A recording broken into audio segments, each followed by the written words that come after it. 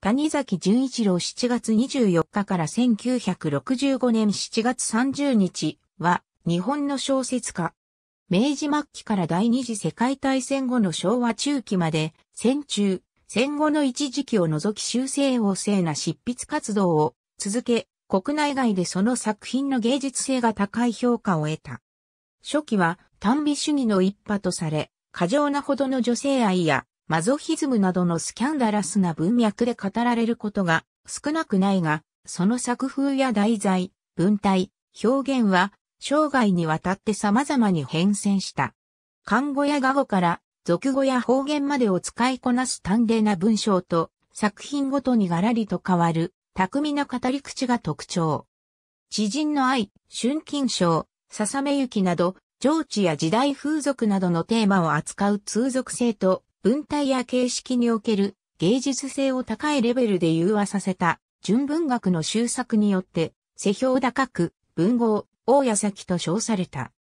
その一方、今日のミステリーサスペンスの先駆的作品、活劇的な歴史小説、苦伝、説話帳の幻想譚、果てはグロテスクなブラックユーモアなど、娯楽的なジャンルにおいても多く、佳作を残している。谷崎倉五郎、関の次男として、東京市日本橋区柿柄町2丁目14番地に誕生。長男、熊吉は生後3日で亡くなったため、純一郎の出生届は長男として出された。次男として誕生した弟の谷崎誠二は、後に作家、英文学者となる。母方の祖父、谷崎久右衛門は、一代で財を成した人で、父は餌分けから養子に入ってその事業の一部を任されていた。しかし、祖父の死後事業がうまくいかず、谷崎が坂本尋常交渉4年を卒業する頃には、身の代が傾き、上級学校への進学も危ぶまれた。谷崎の才を惜しむ教師らの助言により、住み込みの家庭教師をしながら、府立第一中学校に入学することができた。三文や監視を良くし、一年生の時に書いた遠征主義を表すは、周囲を驚かせた。成績優秀な純一郎は、振動と言われるほどだった。1902年9月、16歳の時、その秀才ぶりに、勝浦智夫校長から一旦退学をし、第2学年から第3学年への編入試験を受けるように進められる。すると合格し、さらに学年トップの成績を取った。本人が文章を書くことは余儀であったと解雇しているように、その他の学科の勉強でも優秀な成績を収めた。卒業後、旧制一校に合格。一校入学後、交友会雑誌に小説を発表した。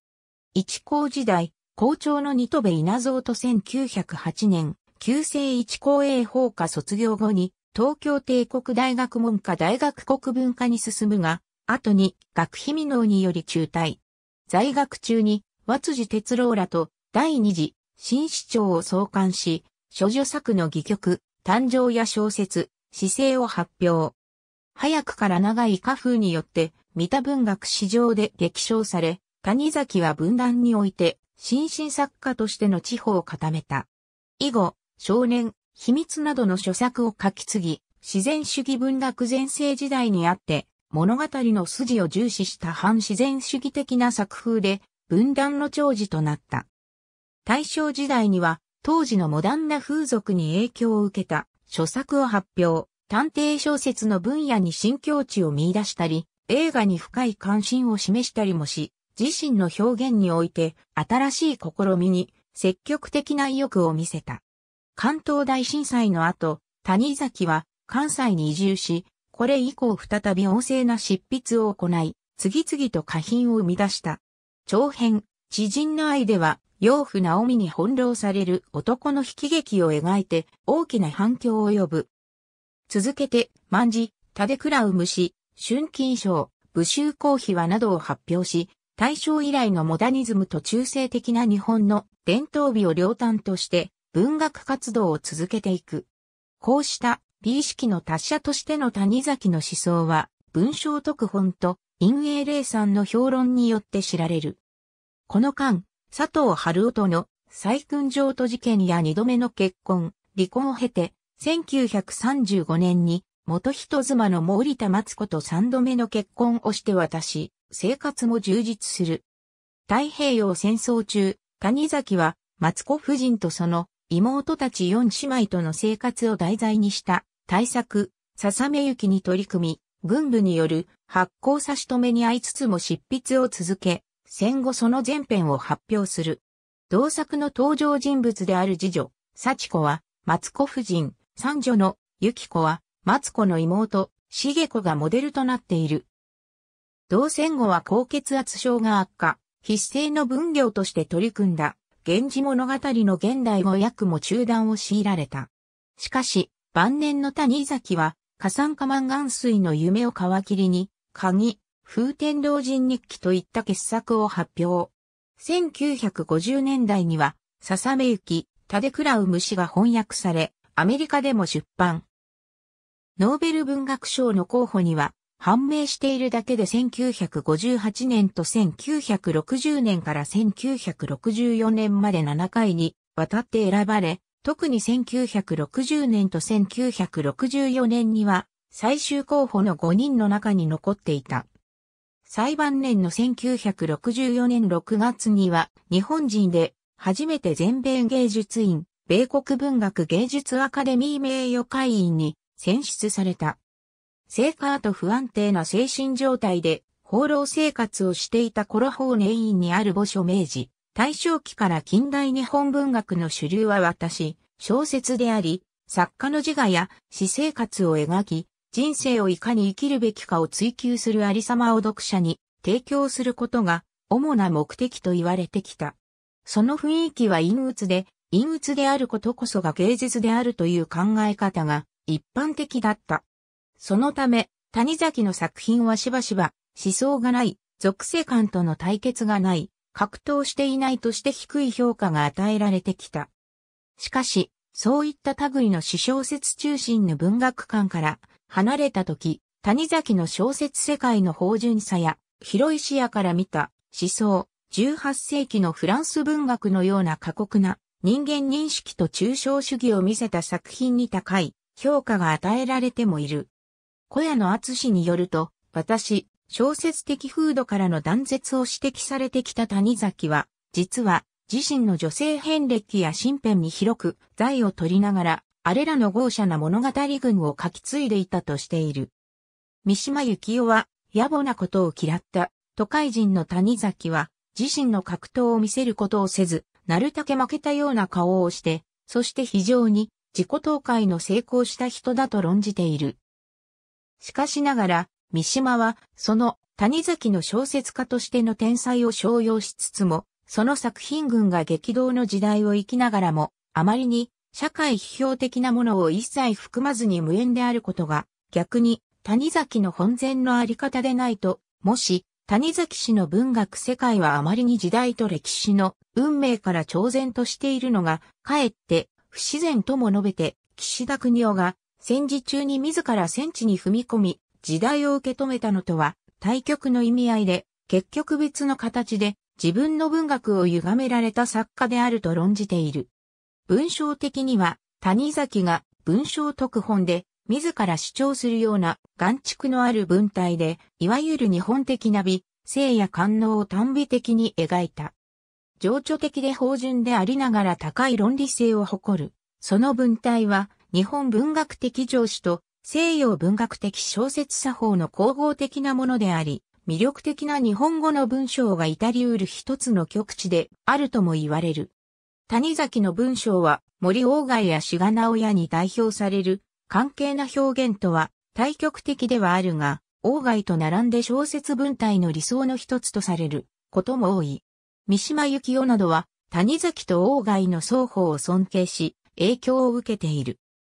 強く美しく、そして抗いがたく、魅力的な女性と、それに対するマゾヒスティックな主人公の死母がしばしば作品に登場することから、谷崎と彼の作品は、女性来産やフェミニズムの観点から論じられることがあるが、これらは谷崎の性愛と肉体に対する興味から発するものだと見るのが一般的である。家畜人やプーの作者、天野哲夫は、谷崎文学は、マゾヒズム抜きでは語り得ないと指摘。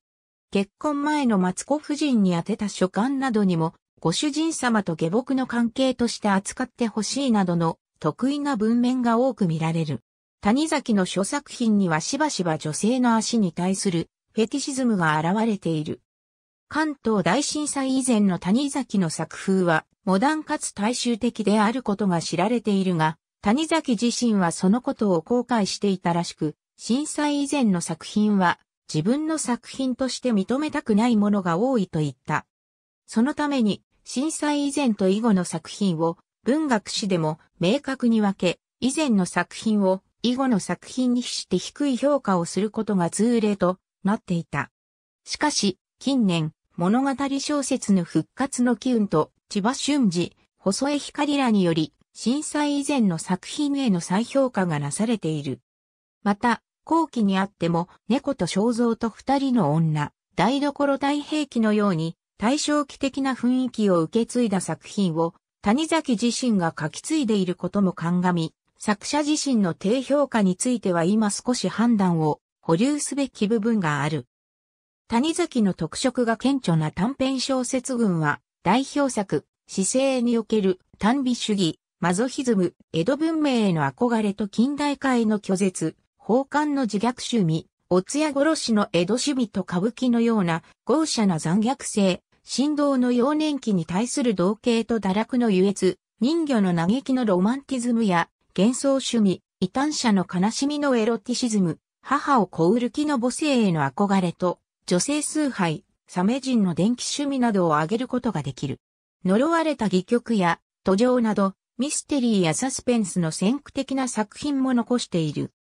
探偵小説の評論家でもあり、金色の詩で谷崎に着目するようになったという江戸川乱歩は、小論、日本の誇りうる探偵小説において、自身の名前の元ネタであり、最初の推理小説、モルグ街の殺人を書いたことでも知られる、江戸川乱歩を引き合いに出して、谷崎を日本のポーと評し、彼の作品の探偵小説としての側面を高く評価している。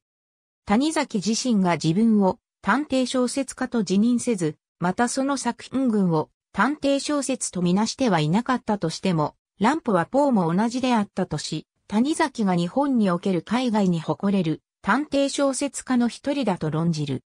特に乱歩はそのトリック性において、途上を高く評価しており、プロバビリティの犯罪を扱った世界初のミステリーだとし、後にこれに触発されて短編赤い部屋を書き、D 坂の殺人事件では、明智小五郎が完全犯罪の例として、途上に言及してその著者である谷崎を称賛する。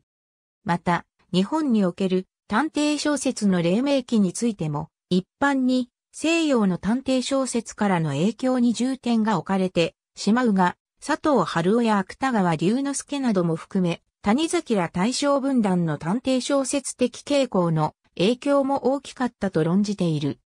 また、1920年に発表された芸術一過ことではその理知的な芸術観や物語論を展開しており、後の芥川龍之介との文学論争を考える上で興味深い。良きライバルの芥川が1927年に発言した話の筋というものが芸術的なものかどうかという疑問に対し激しく、尿絶録で反論の応酬をしたことは文学史的に有名な論争である。三島由紀夫は、その芥川の自殺が、その後の谷崎文学に与えた逆作用の影響を指摘し、芥川の芸術家の敗北の死を目の当たりにした谷崎が持ち前のマゾヒストの自信を持って、俺ならもずっとずっとずっとうまく敗北して、そうして衛生期してやるとつぶやいたに違いないとして、谷崎の文学変遷を論じ、谷崎がニヒリズムに陥ることなく、属性の怒りや無力感にとらわれずに身を処して、己を救いつた作家だとしている。関西移住後の代表作は、長編が中心となり、ここで谷崎の物語作家としての質的な転換が起こる。知人の愛は、長編における豊かな風俗性と物語構造の堅牢さが初めて実を結んだ作品であり、特に風俗描写の問題は大正期書作の総まとめとして、また戦中戦後の作品への手法論的な影響として大きな意味を持つ。傑作として名高い、万事、立倉う虫は、いわゆる、婦人譲渡事件などに題材を取った長編というべき作品だが、現代風俗を扱いながら男女愛欲の様を丁寧に描き、性愛の底知れぬ深淵を見せて、しかも、それが一皮めくれば、文明や社会とつながっているという状況を描いた傑作である。手法論としてもすでに吉田健一らが指摘するとおり、昭和初期に勃興したモダニズム文学の影響を受けている。また、この両作から谷崎の文体は目に見えて優れたものとなり、日本の土着的なものが残る関西文化への牽引が見られるものとなっている。衣装案。1936年から1943年にかけて居住し、笹目行きの冒頭部をここで執筆した。乱菊物語、